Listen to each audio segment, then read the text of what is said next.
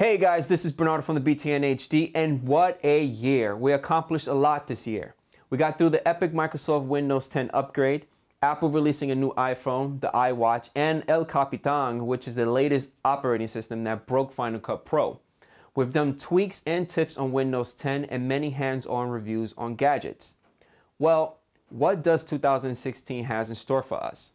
At the beginning of the new year, I will be heading down to Las Vegas to attend CES, what an awesome way to start the new year by being around up and coming tech for 2016. I'll be recording more Windows Server videos, especially dealing with Windows Server 2016 and OS deployment.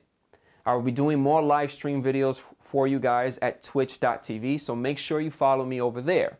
This will consist of me streaming gameplay and tech stuff as well, so that's a great place to tackle me with questions live if you need any help.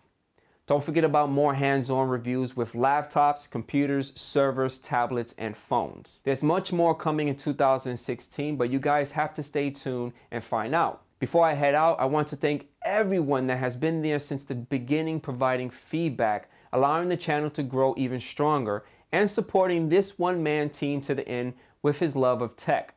You know who you are, and thank you. Happy holidays and Happy New Year. Peace.